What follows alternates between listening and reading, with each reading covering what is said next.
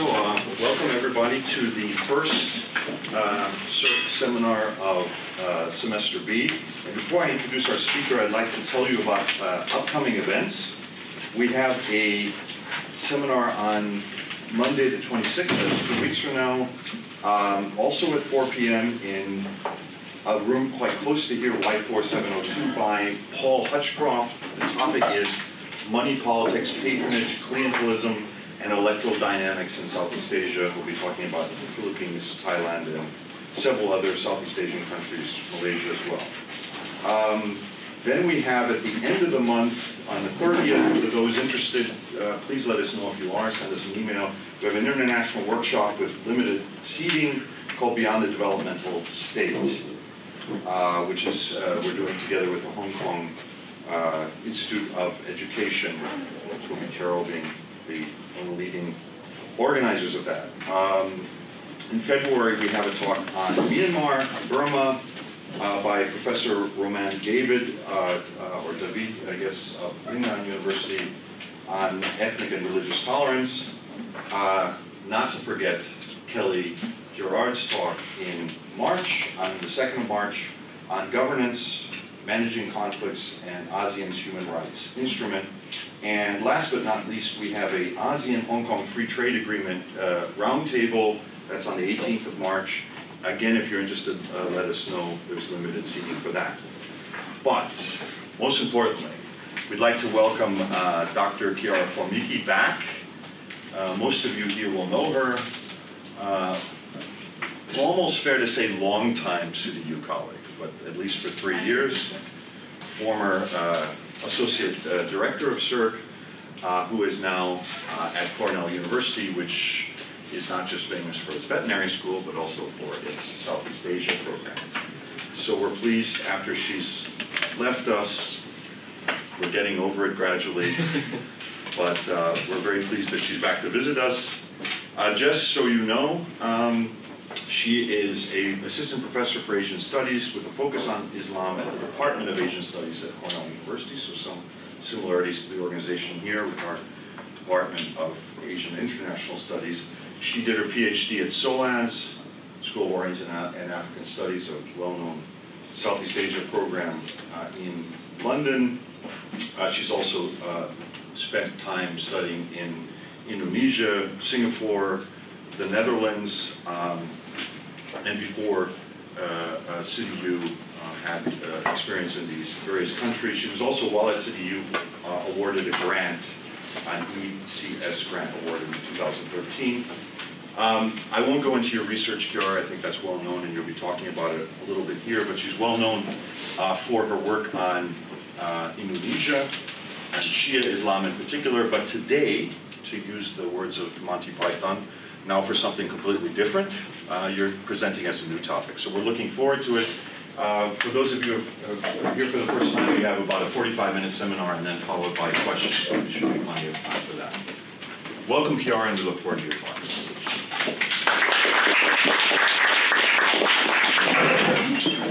Thank you. It's great to be back, and it's great to see so many familiar faces, uh, former students and colleagues. It's, uh, it's great, and new faces as well. Um, as um, I'm going to take two minutes in addition to my 45 minutes to just say that, um, as um, as Mark mentioned, this is um, a little bit out of my usual comfort zone. I am trained as an Indonesianist. Most of my knowledge and expertise is on Indonesia. Um, but whilst, and I'll go a little bit more in detail in a couple of minutes, um, being in Singapore and Hong Kong, there were a few things that sort of triggered my interest, especially in differentiating between former British colonies and former the former Dutch colony of Indonesia. Uh, I'm a historian uh, by training, and as you can see from the time span, I'm sort of reaching into a more contemporary, post-colonial era. Um, so this is uh, the first time that I present this project for 45 minutes. It's great. I started this about a year and a half ago here in Hong Kong. There's been a lot of data collection. Uh, actually, one of my most helpful helpers is here in the room, there, and Maggie. Uh, I owe much of what you see here to her and her ability to make sense of my messy um, fieldwork gathering techniques. Um, but so it's, it's great to have this opportunity to talk more extensively about things and hopefully it will make sense. We are being recorded, so I'll read more than I would normally read to make sure I don't blabber too much and say nonsense. Uh, I apologize for that in advance. And I'll try to keep time, that's why I keep my phone here. Nobody will be calling me. Um, all right.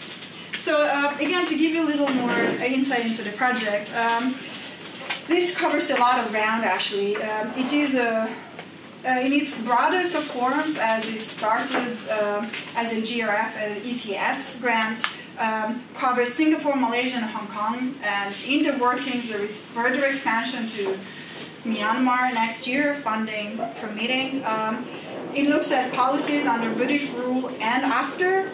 Uh, it focuses on legal frameworks for religious freedoms and ethnic minority status.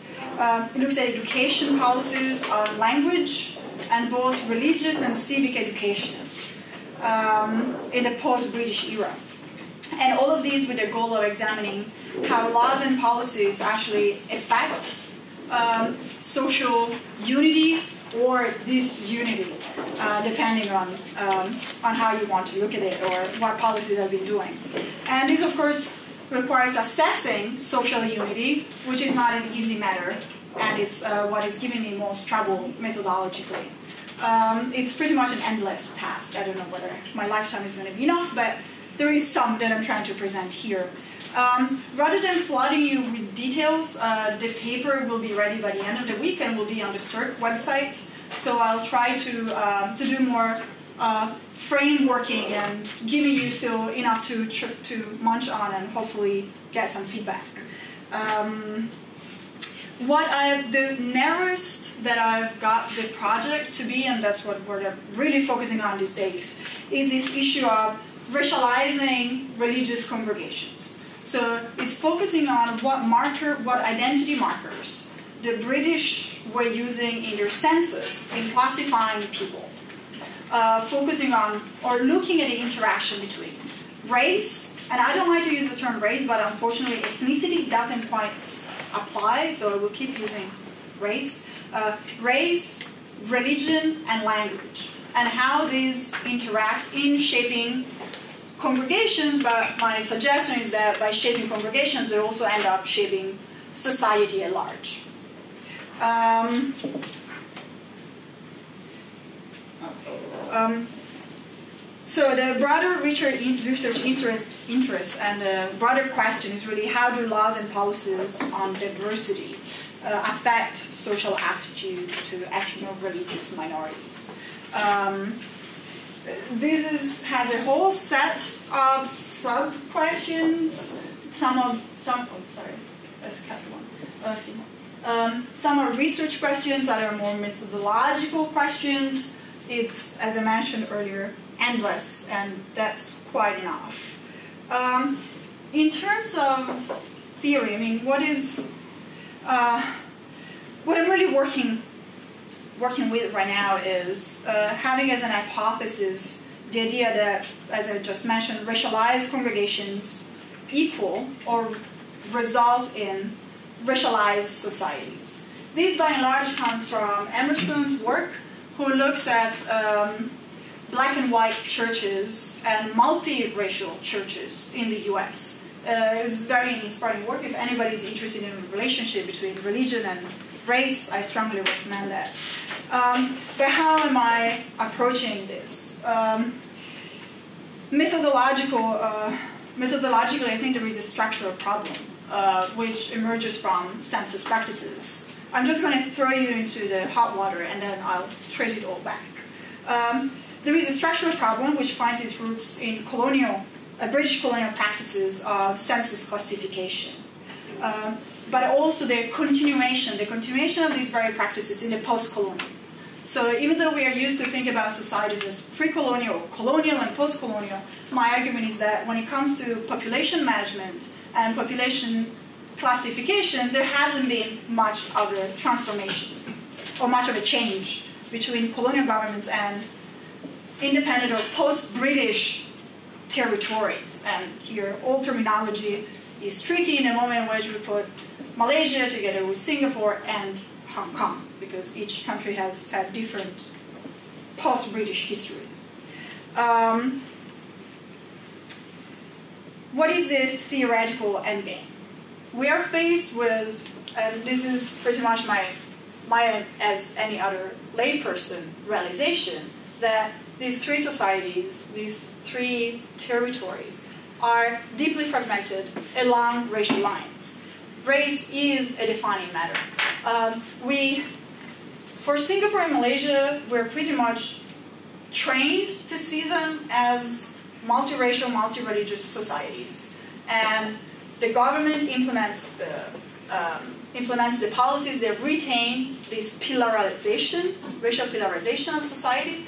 Hong Kong, we used to think about Hong Kong as a rather homogenous Chinese society with some ethnic minorities.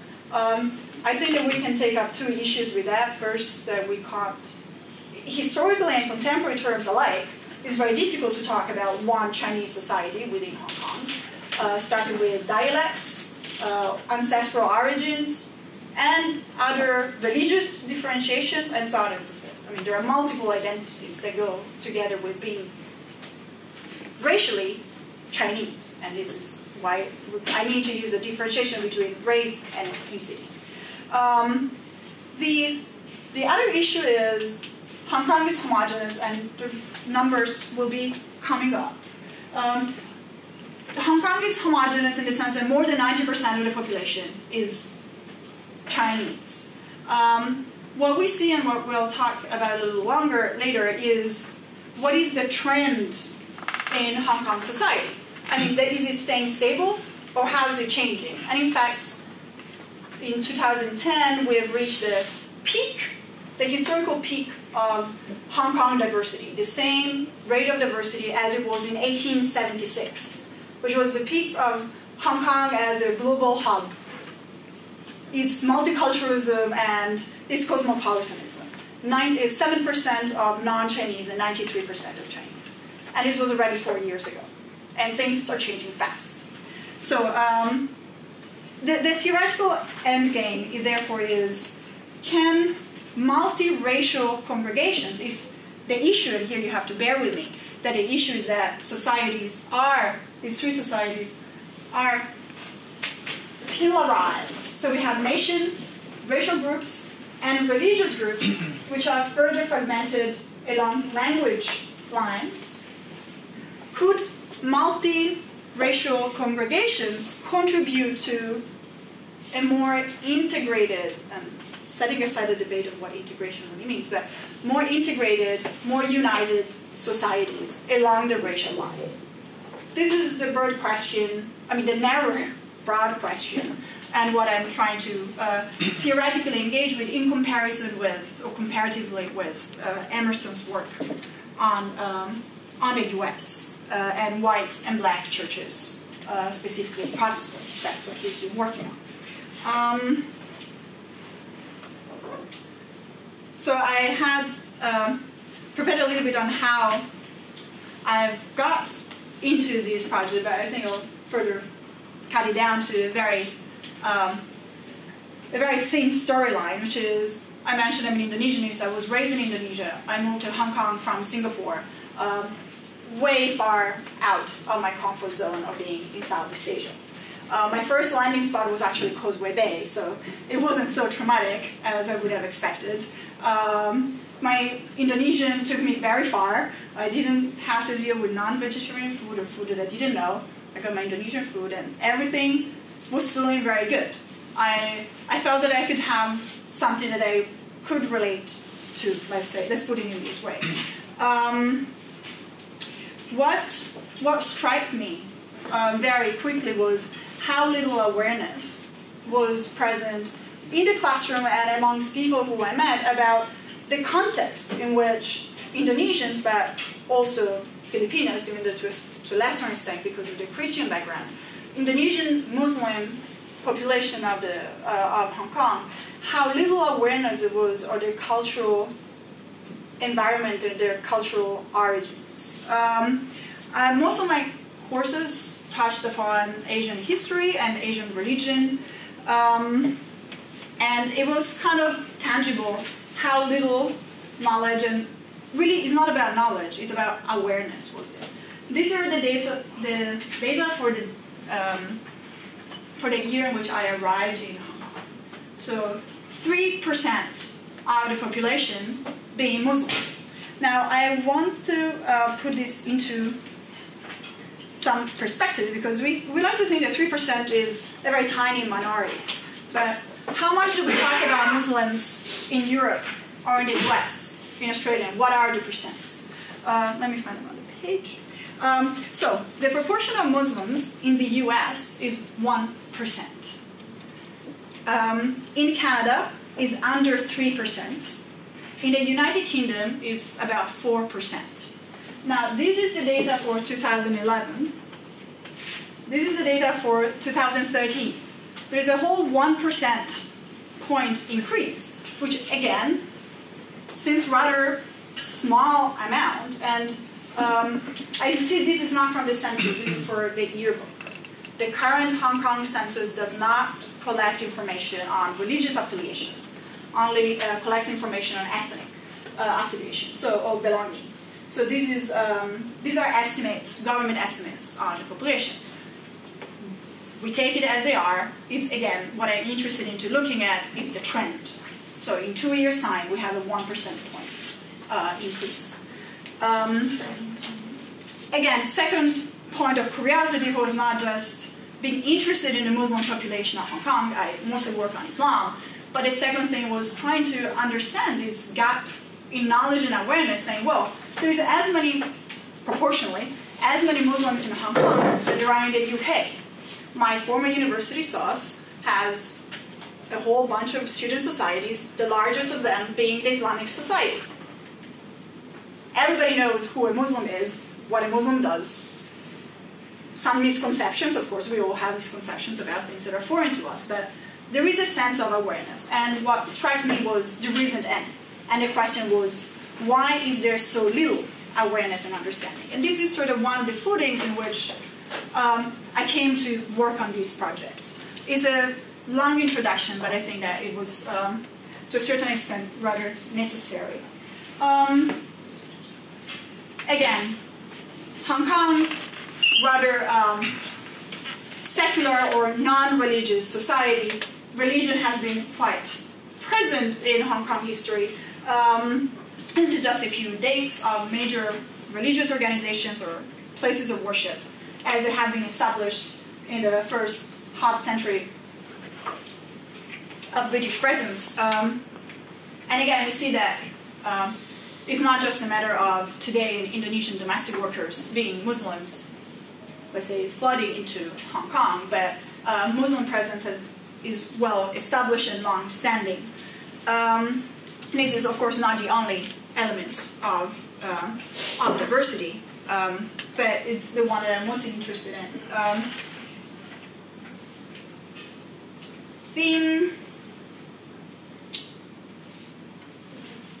the question, I'll just give you a second to, to look that over. Um, the question couldn't be just about Islam, couldn't be just about Muslims or Hong Kong as Hong Kong being, being uh, so particular or specific. Um, what caught my attention was um, was sort of was the identification of religious identities with racial or ethnic identities. This is something that, as we look into a little later, it permeates also in the legal framework for racial discrimination, which by extension becomes a tool for religious discrimination, for example. Each racial group has a predominant religion. And this is in sanctioning text from 2009. So 21st century, 19th century policy approach. Uh, that's the bottom line. This is one case that came to my attention in 2013 as I started looking into the issue. Um, so this is a, a Christian Indian, uh, a Christian of Indian origins who lived, who was a permanent resident in Hong Kong. She dies, she gets cremated. They don't know where to put her. Why they don't know where to put her? Nobody wants to have her. Um, the she was Christian, so of course she didn't want, I mean, her family didn't want her ashes to be in the Hindu cemetery. That would have made absolutely no sense. Anybody who's a Christian would like to be put, or any the Hindu cemetery wouldn't have wanted to have her. Um, on the other hand, the Christian cemeteries tend to be there is a Chinese Christian cemetery. There are a number of Chinese Christian cemeteries. There is a Eurasian cemetery, which is Christian. There is a Parsi cemetery. There is a Jewish cemetery. Uh, there is a Gurkha cemetery. Um, there is, I don't want to forget any. Uh, there is a Zoroastrian cemetery. There is a Buddhist cemetery. Um, I'm forgetting some. There is a, um, there are the Chinese permanent cemeteries, which are not religious, but are ethnic, racial. Um, the um, the Chinese Church Alliance uh, denied space, um, denied space for Miss Nirmala because she was not a member of the congregation until they went to the press. After going to the press and making some noise about it, suddenly she was accepted even though she was not a member of the congregation. The point that I'm trying to make is that there is a sense that the British established cemetery, all the cemeteries that I just mentioned were established during the British era, mostly at the very end of the 19th century and some of them in the early, very early 20th century. Uh, and it was, you either had an ethnic identity or you had a religious identity, depending on what the government thought was your most salient of characteristic. If you were Indian, you were either Hindu or Muslim. If you were Jewish, well, you were Jewish, whether it's an ethnic group or religious group. If you were Eurasian, you would have been Christian of sort. And so you have that cemetery. And so there was this creation of, uh, of a determinant connection between racial identity and religious identity, which, if to a certain extent made sense in the 19th century where conversion was still limited, in the 21st century appears to make very little sense. Um, what remains today is uh, the Racial Discrimination Act, in fact, uh, excludes cemeteries and religious organizations from the Race Discrimination Act ordinance, which means if you're a religious organization, you can determine that you don't want to employ someone who belongs to another racial group, as if that made any sense. Um, and I would like actually to hear feedback on this. This is to me something that makes absolutely zero sense. But um, because apparently belonging to a certain racial group might offend a religious susceptibilities common to the followers of a certain religious group. But it's not talking about another religious group. It's talking about someone who belongs to another racial. Enough of this. Um, enough of Hong Kong, I'm afraid. Um, we are a Southeast Asia program after all, and we have rather conservative understanding of Southeast Asia. So uh, I will, from now on, mostly focus on Singapore and Malaysia, but I wanted to give you a sense of how the issue is present, and also the very fact that comparing Singapore and Malaysia is is almost an easy exercise in the sense that the histories are so intertwined and common that it's very difficult to make any statement about British policies by fo focusing uniquely on Malaysia and Singapore. I find it very interesting to bring Hong Kong in the mix because, to a certain extent, it's so different, and yet it's not so very different. And I'm very intrigued to the idea of including Myanmar to this because I, I know so little about it I want to see whether I'm onto something or maybe it's just a whole um, misconception that I'm having here. Um, yes. So I want to go over, this is what I'll do next, go over some numerical diversity, qualitative understandings of diversity, management of diversity, uh, wondering whether all this is about religion or race, and throwing, throwing in this idea or concept or trying to understand how racial identities were culturalized. So why suddenly to belong to a certain racial group means that you have to belong to a certain religious group. Um, this thing is very tricky. Hong Kong is way less diverse, if you want, when compared to Malaysia and Singapore.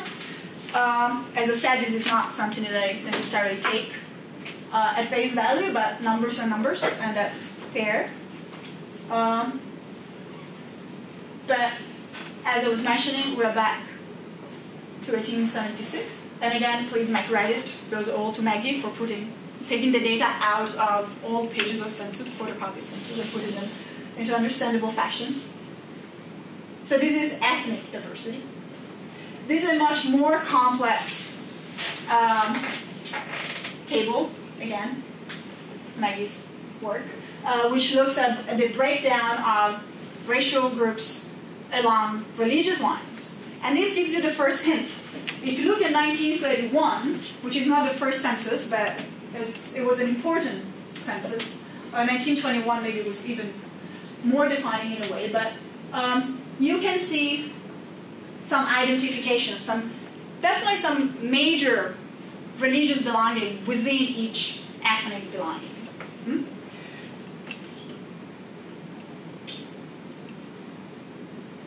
The, the last two points that I want to make about numbers. Uh, I like qualitative research, but in this context we need some numbers. Is that Singapore has uh, rather strikingly retained pretty much a pretty accurate balance for the past 110 years. So 15, 16% of Malays, now we have 13 and a half. Not such a huge diversion, and if you see, it's not a, I mean, it's a consistent trend. The Chinese, with exception of 1881, yeah? So we're looking from 1901, around above 70%. Indians, around the 8 and 9 marks. And others, this is, this is a matter of how we calculate others, so that's, um, that can be problematic to just look at specific numbers. But um, Malaya or Malaysia, and again, this is, for example, geographical problem where we're getting the data from, shows something yet even a, a different trend, which is, um, oh, I left some things blank, so I was supposed to repeat this. Um, shows that at the time of um, independence from the British, the Malays were a minority, were just under the 50% mark. By 1970, well, uh, Singapore secedes or gets kicked out, depending on which history you want to listen to. Um, we're slightly above the 50% mark, and by 2010, we're way towards the 70%. Uh, this is what I think we can refer to as an attempt to homogenizing society within Malayness. And the only way, because arguably you can't change your race, because race is determined by the race of your father, and that is understood in phenotypical terms, not in cultural terms, uh, especially when it comes to, um, to Malaysia. The only way in which you can have such a transition, besides population policies, but that's not quite the point here, is towards um, advancing conversion policies, uh, conver- a conversion project of indigenous populations who are not originally Malays, but by becoming Muslim, can be assimilated as Malays because they are also indigenous people. And by indigenous people here, I'm referring to the term Bumi Putra, the sons of the soil. So the Iban, the Kadazan of uh, Sabah and Sarawak, they are invited to convert to Islam, and then they were, and this is very political issue, in some cases invited to change the race category on the ID to become Malays. Now this, again, it's, it goes in different ways. Sometimes it's a pro-Malayization, sometimes it's against Malayization, but the trend is quite clear. What I'm interested here, interested in here is the, the, the, the racial transformation by religious conversion.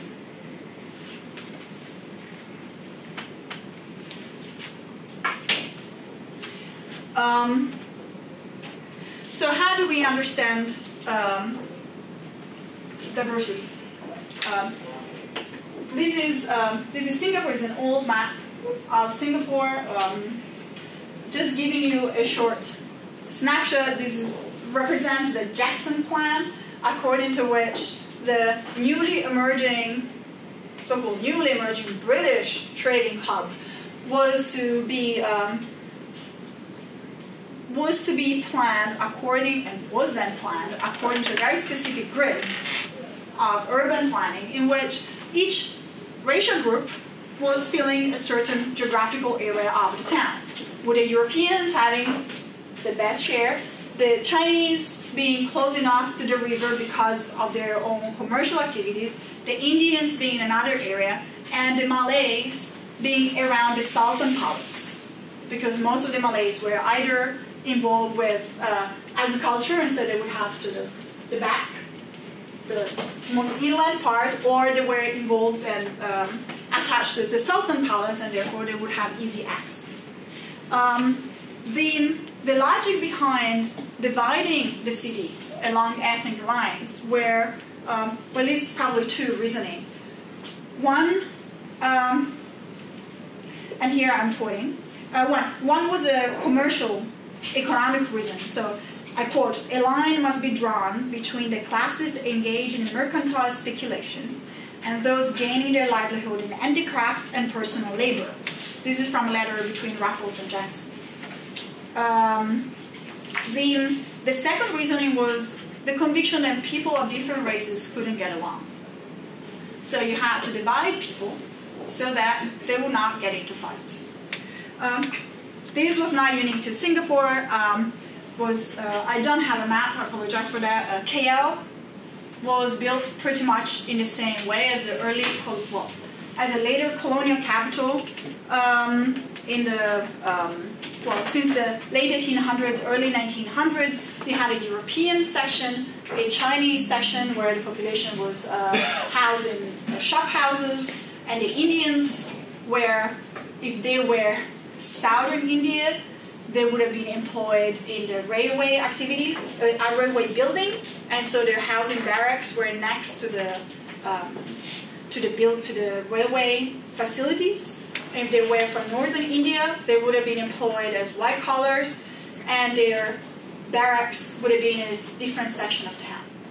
Again, the distinction between northern India is very northern and southern India is very interesting. It goes back to the idea of the Dravidian Indians and Aryan Indians, and as Aryan Indians from the north being more sophisticated because of a lighter skin color, and the southern Indians being darker and um, uh, sorry, the Dravidian in the south and the Aryan in the north, yes, uh, and therefore having to be put in manual work.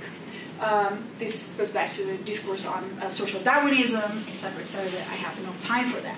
But um, Hong Kong, to a certain extent, also had a similar geographical organization of the city with the Europeans on the peak, uh, the Chinese on the coast, uh, sorry, the, the, Chinese with shop houses between the peak and the coast, and the Indians on barracks in very specific strategic areas where the forts were held. Uh, and no interaction in the residential areas was supposed to be. Um, the first time that we see a Chinese uh, having a housing resident permit in the peak was early 1900s, I think it's 1904 or 1907, uh, and actually it's a Eurasian. Um, so we have, um, there is a very clear division. Um, why so much um, about this?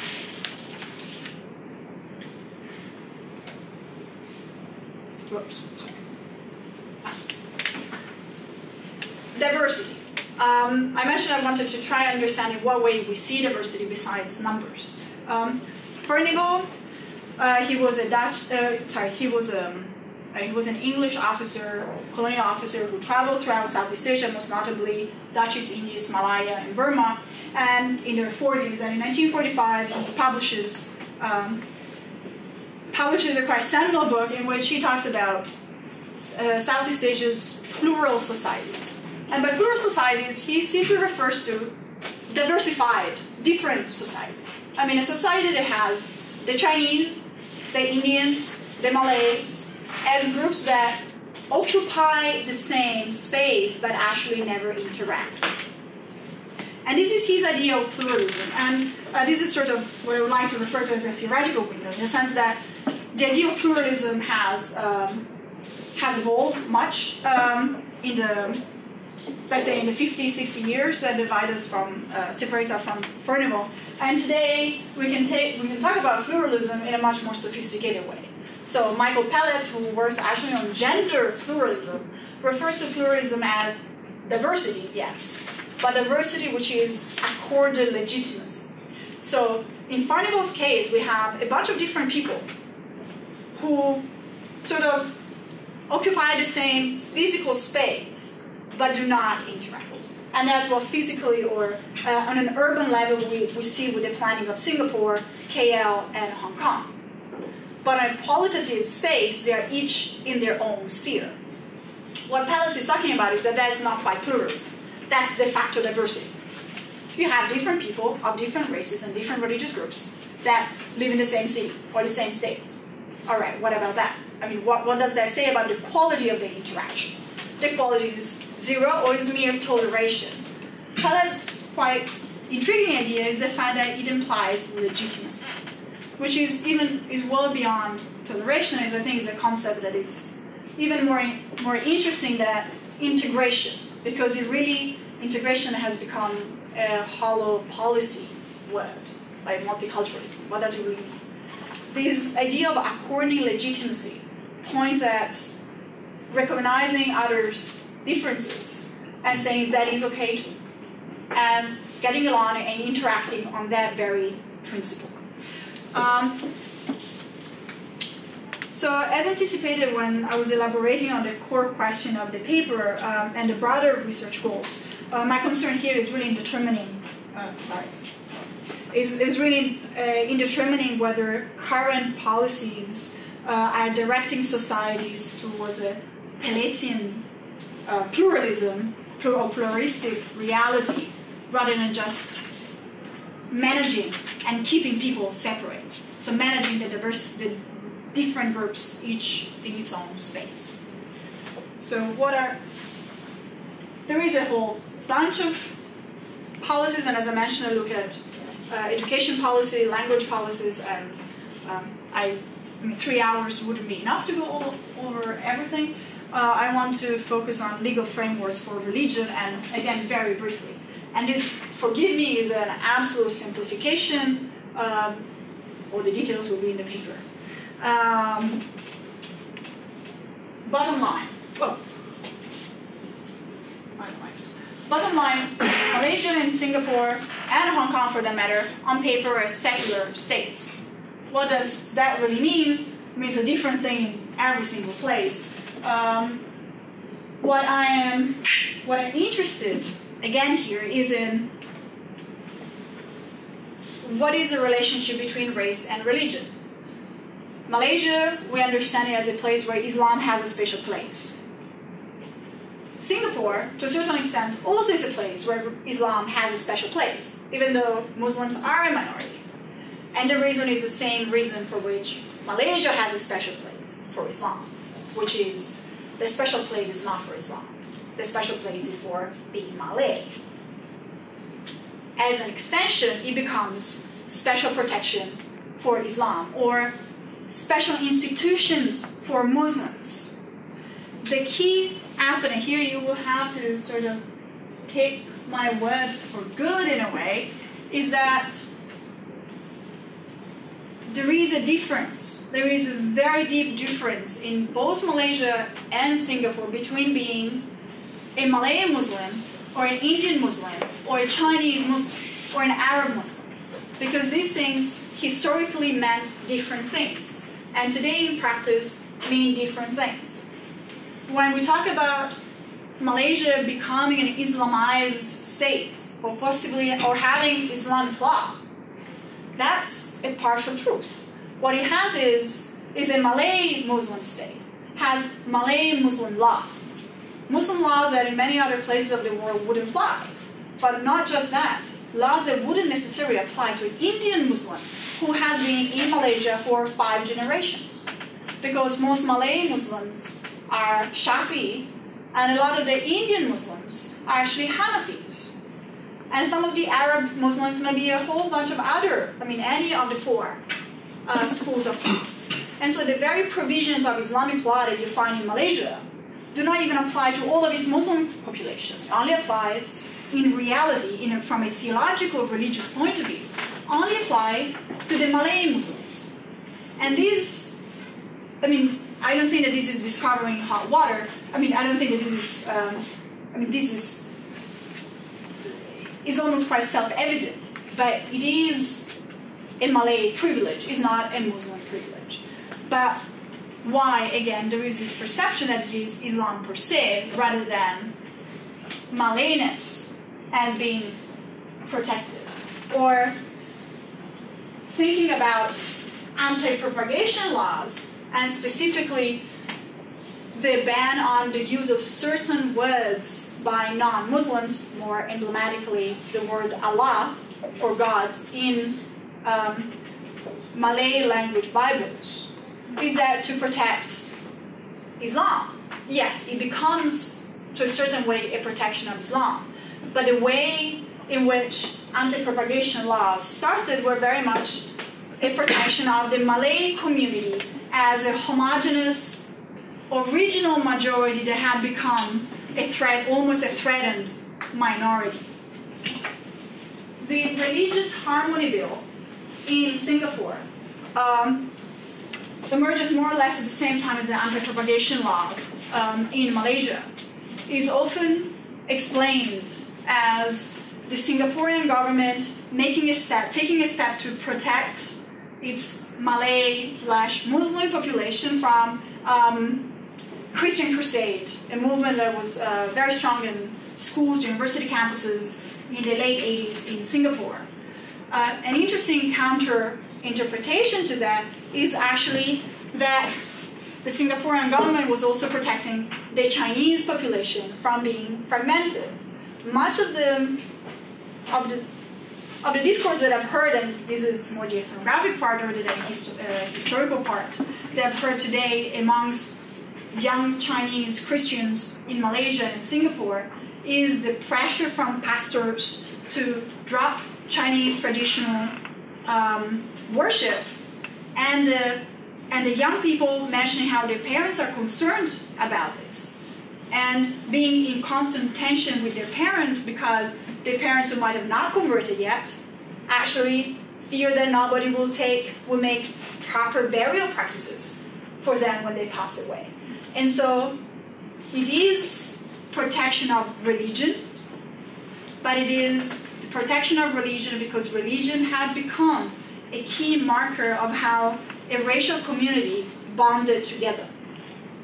And of course, we can look at this probably from other 10 different points of view, but I'm trying to bring water to my own uh, meal um, and strengthen my own argument. But um, the, the reason behind the religious harmony bill is, uh, is referenced here and there, but is not, um, I don't think it's given much importance or how, how um, threatening it was to the Chinese and still is to the Chinese community having to drop, especially in the new evangelical, um, new evangelical Protestant groups, the need to drop uh, Chinese practices, uh, ancestral worships. Um, so this is this is the ultimate question: How much is this about? Um, how much is this about race, and how much of it is about religion? Um, in to summarize, I mean, the provisions that I mentioned that were um, briefly listed there, um, that which have allowed for the institutionalization of Islam as part of both the Singaporean and Malaysian states, had actually their origin in the enhancement and protection of the Malays. A very specific uh, racial group, not Muslims in general. Um,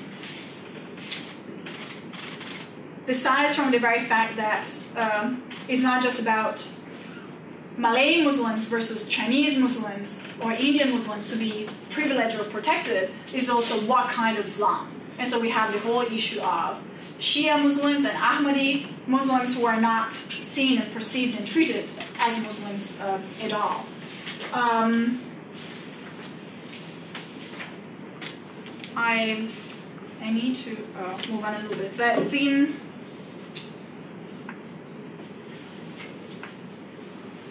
what I, I want sort of to conclude with is, and that's five, seven minutes maybe, um, is why are then religious identities understood, understood as an aspect of racial identity or experienced as such or institutionalized as such. And there are many other examples that I could give you about how um, they are intertwined. Maybe you can ask me questions in the Q&A and we can discuss that. Um, this is where this were the good old British officers and their deep insights comes in very handy. Um, so the, the reports, the 1921 and 1931 censuses were most defining for understandings and debates, internal debates on race and religion within the British Empire. Um, so, and I think this quote from Vlieland is uh, quite telling on seeing how the British understand the interlock between race and religion. So most Oriental peoples have themselves not clear conception of race and commonly regard religion as the most important, if not the dominant element. The Malay, for instance, habitually regard, regard adherence to Islam in much the same light as a European regards a racial distinction, and we speak of Mohammedan Indian and a Hindu as though the distinction between them were similar in nature and magnitude to that between a Frenchman and a German.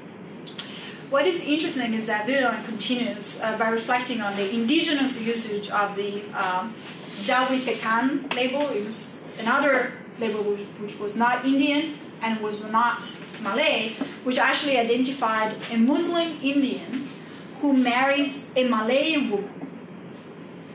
So this is someone that is a Muslim, ethnically is an Indian, and marries a Malay woman in virtue of the fact that he is a Muslim and becomes affiliated with a Malay, his ethnic group actually changes. His racial classification changes if, to being one sort of Jawi, a kind of Malay in a way. Um, so we see that assimilation happens through religion and through marriage, even though it's not in in a traditional Malay sense race is not phenotypical. Understanding of race is not race, it's community. Is what we today we would define as ethnicity, not just as a physical characteristic, but a cultural characteristic. And there was much uh, transformation. Another um, quote that I am uh, that I'm quite fond of. Um, oh, sorry, it's not this. Um, well, okay.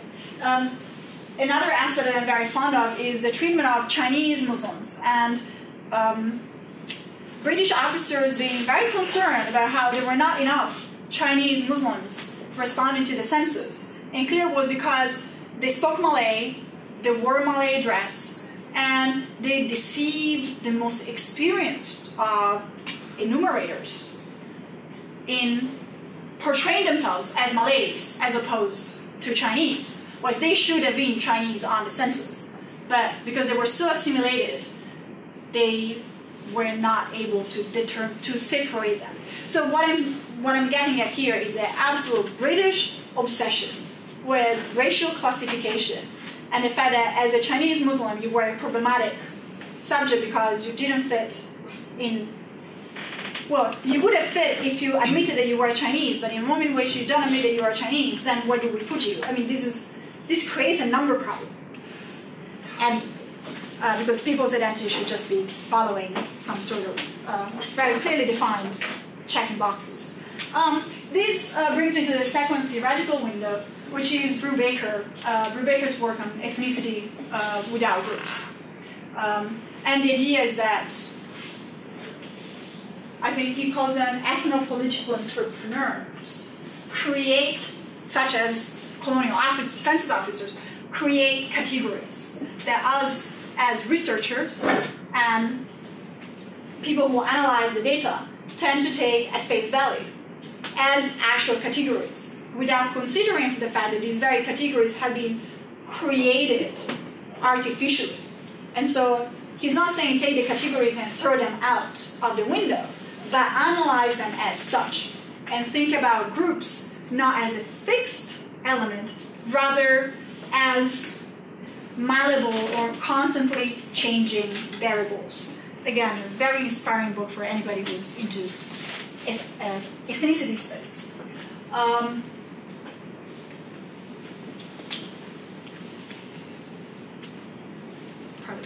um,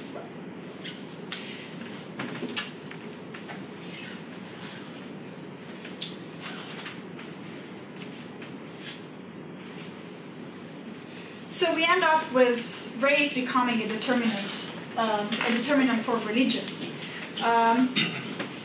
This is a comment from the 1921 census, and um, it's um,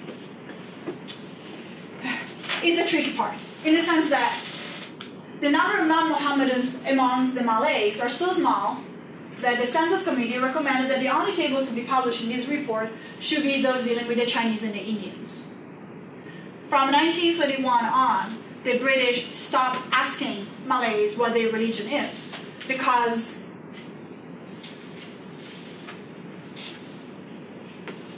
the Malay population prospers universally, and the whole Malayan population almost entirely Mohammedan, Muslim. Therefore, we might as well, as well not ask them and not give them a chance. This is 1931. By 1957, we have the sanctioning of Malay identity as including being a Muslim something that emerged, and this goes back to what Brubaker said, was uh, argues, is that categories are created through political practices. And at some point, they need to be deconstructed in order to properly analyze the phenomenon that we have at hand. I keep showing this image because I think this really visualizes how we end up with stratification of identities and ultimately the creation of churches and mosque, uh, mosque congregations that are langu- linguistically and racially defined below the below the religious umbrella. So you go to a church in Singapore, in Malaysia, and to a certain extent also in Hong Kong, and you will know from the outset whether it is not even whether it's Indian or Chinese, but whether it is Malayali, Telugu, or Tamil, whether it is Fuzhou, Hokkien, Cantonese. And it's the same with mosques. You go to a mosque and it will be either majority Arab, majority Malay, majority Indian. And the sermon by and large is in Malay. We're talking about Malaysia and Singapore, but there are some mosques in Singapore and Malaysia that give their sermons in Tamil. And this creates, again, going back to what Emerson argues, is that our first, I mean, for people who go to places of worship, the first point of interaction and socialization is the church, the mosque, the temple. This is how social networks are created. These are how children socialize besides schools. And this brings my issue with education, which I didn't have time to talk about here. But the very fact in the moment in which we have religious congregations that are so fragmented along micro identity markers, it reinforces or it, uh, sort of um, it um, reproposes the polarization of society that we already have at this point in the 21st century as a consequence of British policies. So it's sort of a um, it's a dog that bites its own tail. Um, in conclusion, um, what Emerson is suggesting is a, is a sixth American, and what here we will be trying to look at, or my uh, my very tentative argument is the search for the fifth Malaysian or the fifth Singaporean, which is the one that does not fit in, into one specific category, in, or rather, is someone who is identifiable as Chinese, Malay, Indian, or any of the others, but socializes, interacts within the religious sphere and therefore in society with people who belong to other groups. Uh, again, Emerson's study comes from the black and white churches and the Latino churches and the Filipino churches and the Chinese churches across America. But it's very much the same idea of how, to, how could congregations be a first place and agent of change in racialized societies. Um, this is his uh, definition of the Sixth American. Um, what I am, what I'm looking at, and this is, uh, I just collected data last week, and so I'm still going through it, is looking at interracial marriages within religious groups. And in a much depressing, at times rather depressing fieldwork, having to go to Chinese churches or Indian churches or expat churches or walking in front of a mosque and noticing that it's absolutely homogenous. Um, I went to, to the Calvary Church outside KL. Um, I'm not Catholic, I'm not Christian, but uh, it was an appalling sermon, which everything was about money. You go to church, you are devout, you will get more money in your pockets. Which is not my, really my understanding of spirituality and religion, but um, that said, and I was I was shocked. I endured for two hours. What I found fascinating was that the priest, the priestly couple, was a Chinese lady with an Indian husband. They had a son who was going to take over the church at some point.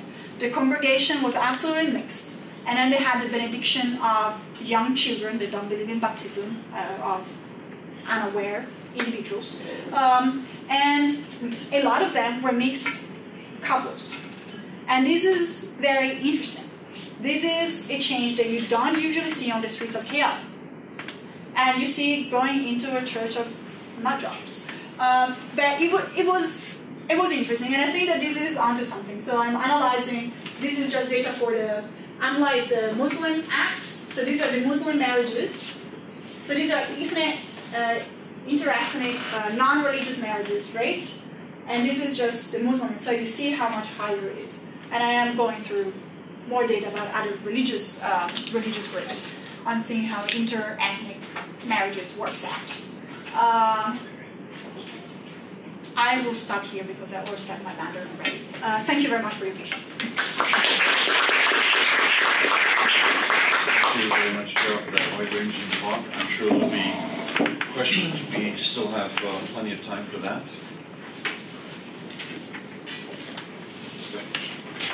Um, my question concerns the role of um, power. Um, I think the, the religious and ethnic policies in Malaysia and Singapore are closely related to the political uh, system maintaining uh, power by the regime. And I think those in Malaysia even more with these multi-ethnic um, uh, institutions. Yeah, so I want to know more a little bit about uh, the role of power. And, uh, in, in, you mentioned the Religious Harmony Act in Singapore. And uh, as far as I think, it's mostly related back to the 1987 Marxist conspiracy, the so-called Marxist conspiracy, in which uh, mostly Catholic uh, social activists became politically active, and uh, the idea that politics could become an independent political force in Singapore was worrisome to the leaders. Uh, and they tried to say that politics and religion need to be separate so they can talk about politics in church or so and or become a force. Thank you. Um, so, of course, the, the connection between maintaining power um, is key to understand religious policies in Malaysia. Um, and that goes even, in a way, I mean, we want to take the, for good the issue of policies on Islam not really being about Islam but being about Malay, then we can also go further down and say actually it's not about Malay privilege, it's about UMNO voters and UMNO open supporters privilege. And that's, that's a huge part of it.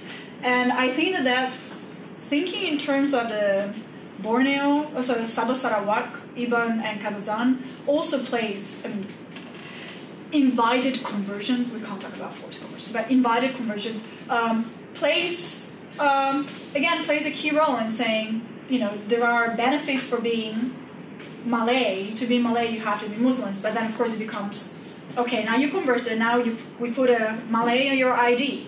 but now you have to vote for us. That's the way. And so there's, that is a key thing, but I don't think that it's maintaining power on nor on a neither on a religious religious aspect nor on an ethnic aspect actually, because otherwise it wouldn't have the constant scheming and fighting between PAS and UMNO in a way. So it's, it's really about how to how to get poor people to vote for. I mean, how to get people to vote for UMNO. Let's get the most disenfranchised. Let's give them something in exchange of votes. It's, I don't know. That's my very bleak understanding of Malaysian politics.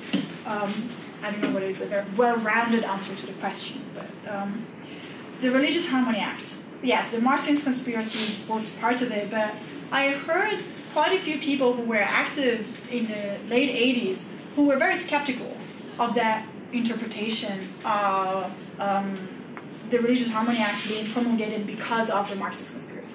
I mean, the very fact that a lot of people question whether it actually was a Marxist conspiracy to start with. Uh, well, exactly. I mean, what, what does that even mean? They would have had the, the ISA in a way in order to tackle that. So why did, why was there a need for an additional piece of legislation? Many argue that the Religious Harmony Act is just a second embodiment of ISA, just more subtle and easier to deploy. Um, but I found what I find interesting about that is the possibility of reading that not just as a gift to the Malays, or not just seeing LKY as giving in to Malays' requests. I mean, really? Would that ever happen? But actually protecting the interests of his own voter constituency, which was the 1965 generation, which, as non religious it was, surely he strongly believed in Chinese values and I mean we can't even argue about it, Asian value, filial piety. And I, I found that resonated with contemporary dynamics between younger generations of converts and the issues that they face at home with their parents about um, really uh, funeral rites and what is going to happen when their parents pass away. Um, I assisted a very tense relationship between a preacher and his assistant, and she said, well, yes, my parents are really annoyed at this, and the preacher trying to to mask that as saying, but no, of course, if they die, you can, you know, you can pay respect. But she wasn't convinced by that. It didn't feel right in a way. So it's just I like it as, a, as an additional voice to the debate of why was a religious act, uh, act necessary. Paul. Mm, okay, well, um, I should apologise because I, I don't understand religion myself. And I particularly don't offend anyone, but I don't understand why anyone would convert to another religion. Mm-hmm that, that to me is a totally irrational, bizarre thing to do. So, I've, so I've got a deficiency in understanding it. My question is, what was the attitude of the, the colonial period towards proselytization? Did the British authorities encourage it, or did they actively support it, or, or did they discourage it? Mm-hmm. And what's your take on the relative how much conversion is there these days compared to then? Is there more proselytization, or more conversion? In which case, I'd be quite pleased because I also don't believe in the idea of modernity and modernization. Mm-hmm. As moving out of religion. So that's my question. Mm-hmm. Um, there are many reasons why people convert, but um, without going into that exactly. Um, so the the British had a I mean, the British as the Dutch, they had an ongoing changing approach to how much space to give to missionaries because missionaries were always infringing on the authority and the territory of the colonial power. So it's that was a very tricky relationship. But that said, there were missionary missions um, going into the the rural areas of Malaya, um, and there are some quite fascinating accounts of um, who were facing problems in converting.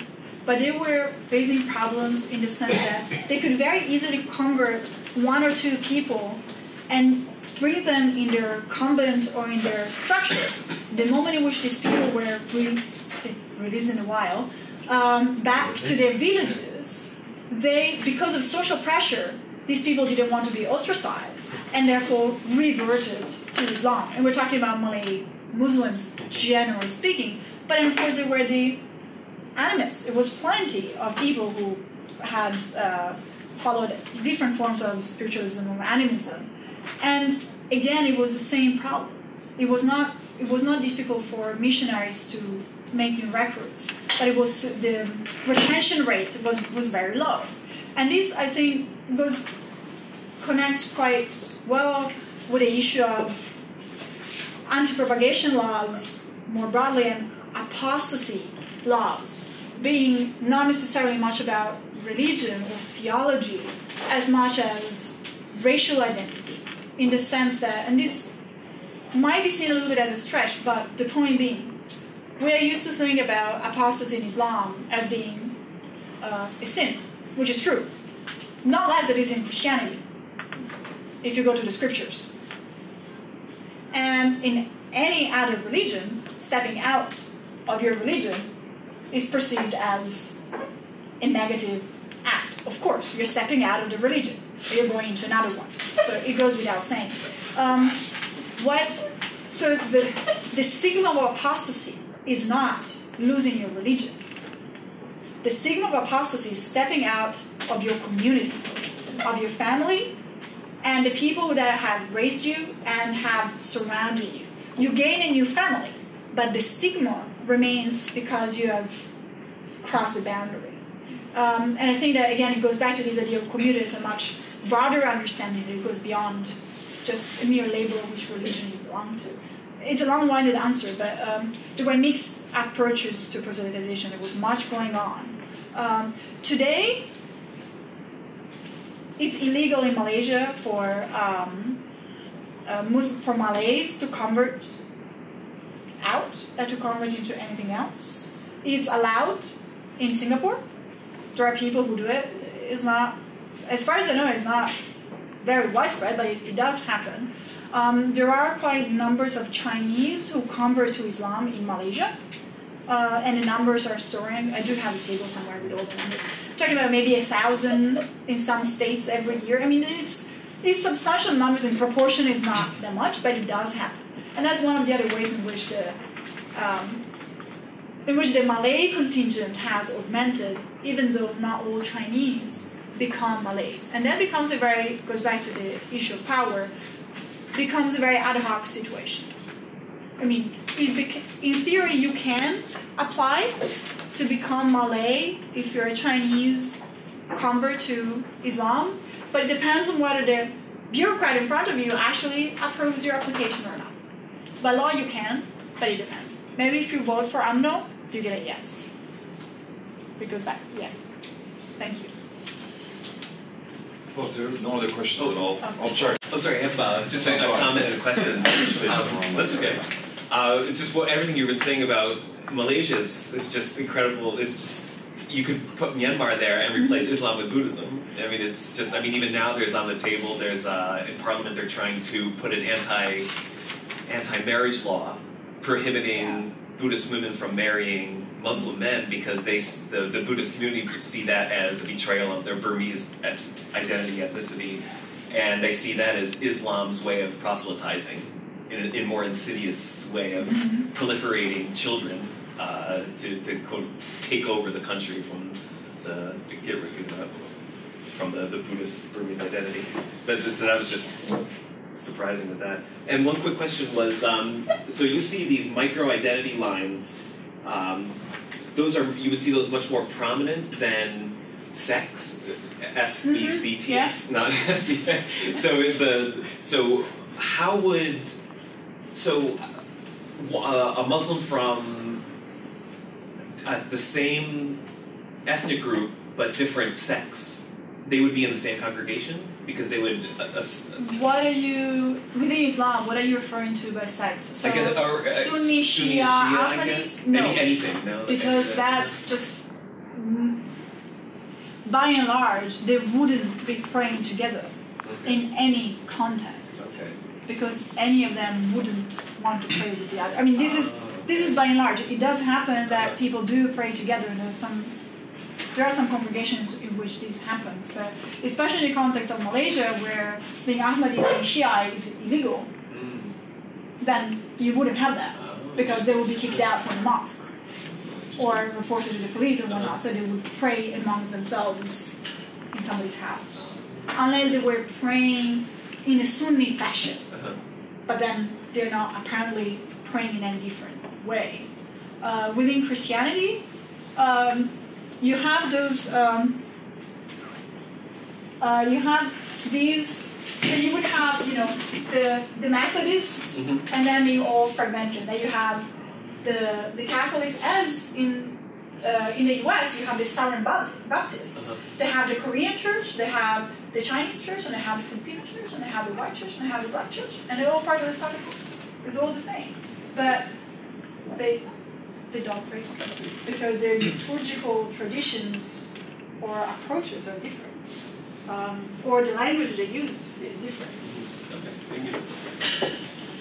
Yeah, I had to kind of piggyback off what you were saying with the different sects, with uh, especially the Sufis and the, you said Sunnis and the Shias. Uh, what did you come across uh, in regards to those limitations, and especially the Constitution, when you spoke to it being specific to Islam? And like you said, some are even illegal. Uh, it's illegal. That parts of Islam is illegal, what you just said. Uh, how did that lead to the further racial identities from that point forward?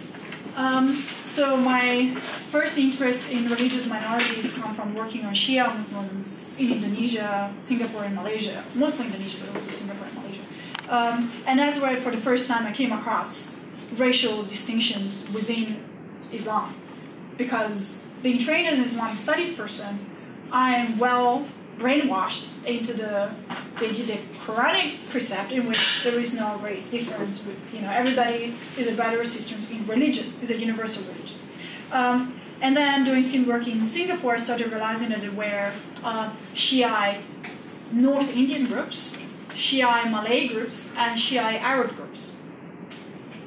And they wouldn't commemorate, do any festivities together because their rituals are shaped differently. Um, so that plays out within each sect, uh, within each subgroup of Islam, all the same. It's just a, a reproduction of the model, if you wish. So um, it, it's just one thing. Thank you. Chiara, I wondered um, if I could push you a little bit towards uh, some other Southeast Asian cases. Tom already mentioned Myanmar, but you know, when you describe the Malay case, the Malaysian case, and the continuities of the, the British colonial past and, and the efforts to sort of consolidate the Malay pillar and thereby, of course, separate them from the Chinese. Um, and that plays a very important role in the politics, as we already discussed. But you look at a place like um, the Philippines or, or Thailand, where that's very different. You have more of an integrationist model. Of course, there's some discrimination against Chinese, particularly recent immigrants, but basically, you have um, integration, Chinese mestizos and Filipino Sino Thai, and, and, and in, in Thailand is also helped by the fact that religion doesn't prove a major obstacle. In, in, in Thailand, most, uh, well, many Chinese are Buddhist, and uh, in the Philippines, many of, uh, are Christian. So that, that's kind of interesting. So then I want to bring you to Indonesia. So the interesting about Indonesia is that for a long time, and, and also from the perspective of the politics, it was seen as, as somewhat similar to the, the, the Malaysian case, where Chinese, although a much smaller minority, were stigmatized, and in politically crucial moments, there were even pogrom style attacks against them, most recently in 97, 98. Um, that seems to be changing in Indonesia. Um, so my question at the end is, has Indonesia, better than Malaysia, escaped its colonial legacy? Um, that's a very good question. I mean, it's um, so the, the the comparison with Indonesia is very compelling in the sense that um, not not to play too much the colonial card, but the Dutch had a very different approach to um, racial classifications in Indonesia. I mean, I haven't done very extensive work, but the, the one thing that I feel very confident just taking saying out of my hat is um, the very category of being European in the Dutch East Indies was a cultural group rather than um, a phenotypical group. So you almost see a reverse. Being belonging to a certain racial group did not come with any specific religious connotation, but it came with a bunch of broader cultural baggage. So you could be, of course, Japanese after the Equality Treat of 1905, 1907. Uh, Japanese were considered European. Um, Indonesians who worked for the public administration, who proved that they could speak Dutch, and they wore shoes, and they wore shirts, and they had someone to sponsor them, they could apply to become European. And they might be Javanese, Sumatrans, Moluccans. Um, so it was a very a much more flexible um, category. Mm? So I think that the, the colonial, let's say the colonial legacy was already different from um, from the start. Um, but talking about the Chinese, I think that much of the, besides from changing political dynamics, and definitely the Chinese are more integrated, there is plenty of in, ethnic Indonesians who now want to go to Chinese schools and learn Chinese. And uh, it's increasingly common because that's where the money is, that's where the business ties are. And they know better than sending them to any other school. So if you have money and you're Indonesian ethnic or Indonesia of sort, you might be sending your kids to a Chinese school. But also, what um, a colleague of mine has been working on for quite a few years is looking at Chinese Muslims and their integration, um, especially in Surabaya, but also other cities. And he does comparatively Indonesia and Malaysia. And I think his bottom line argument is that they're much more integrated in Indonesia as Muslims than they are in Malaysia. Because in Malaysia, you have even a couple of Chinese mosques where the ceremony is administered in Mandarin, going back to the language issue. Um, but in, in Indonesia, you don't have this. There is much more of a, maybe because the minorities are much less proportional, there is much more of a national program in a way, in which everything is in Indonesian. And it is on that level, that's one of the things I'm looking at, as I mentioned earlier, is uh, language policies. Is having a real national language and a national education system works for integration. I mean, there are now Chinese schools, but as also Indonesians, ethnic Indonesians are going to Chinese schools, you still have mingling. Part of the problem in Malaysia and Singapore is that the vernacular education is ethno or racial linguistic. So if you're Tam- if you're Indian, you will go to a Tamil school. If you're Chinese, you go to a Chinese school. If you're Malay, you go to to Malay school for primary school, and then you do that language, and you're surrounded by that kind of people.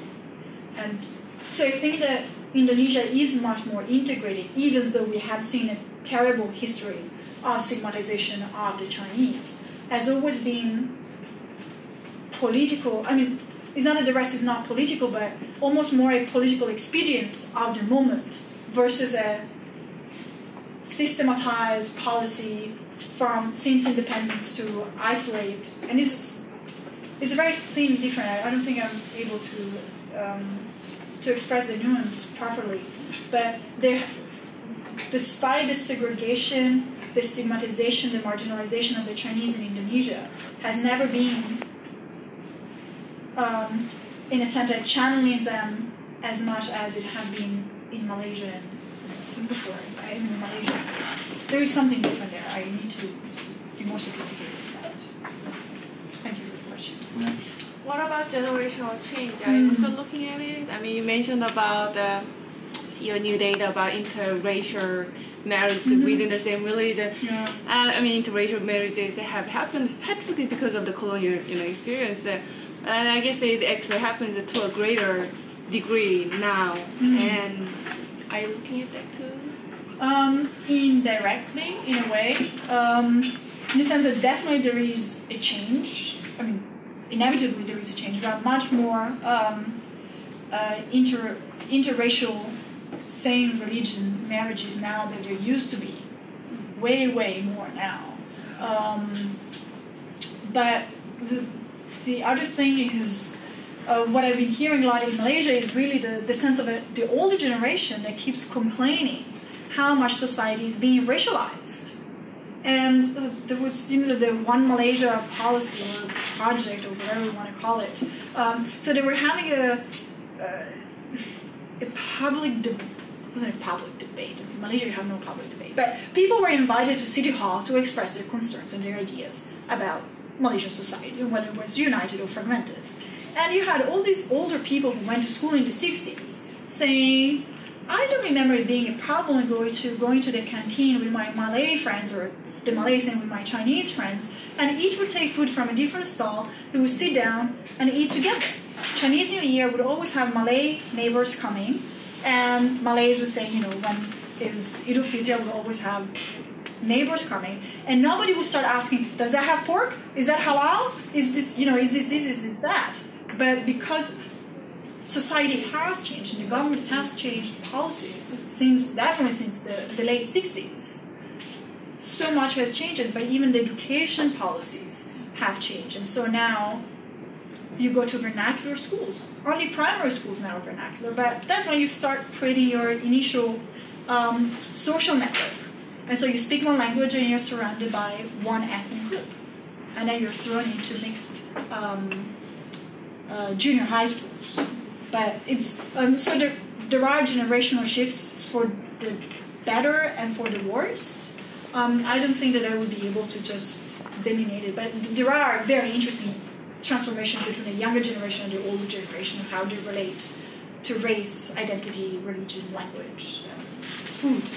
I mean, which is a great way to look at it. So there are no, oh, sorry. I'm, I'm very interested in the Muslim population of Hong Kong Mm-hmm. and that increase of. And it's not clear, the numbers don't quite add up. If we can see the numbers again. Yeah, numbers never add up uh, because they're not official censuses. So each group, according to the government, uh, releases. Um, oh no, sorry, I'm going in the wrong direction.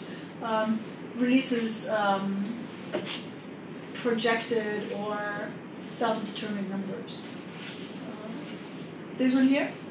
No. No, before that. This yes, this yeah. one and the one before. Yeah.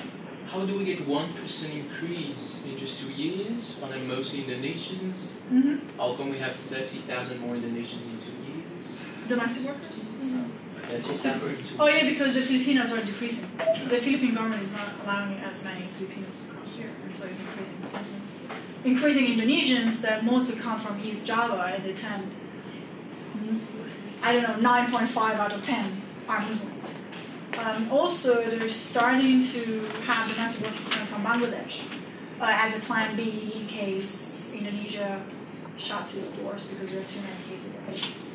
Um, and so again, it's another um, Muslim contingent of workers um, coming in. It, it's fascinating. Isn't Myanmar also being considered? Uh, They recently closed it. They stopped doing it. They, there was like a, a test test run, and uh, the gov- Burmese government has decided to stop it for a. So, but the, the numbers are a little are That's for sure. Right, well, if there are no further questions, again, many thanks, Chiara, and it's Thank you. good to have you back.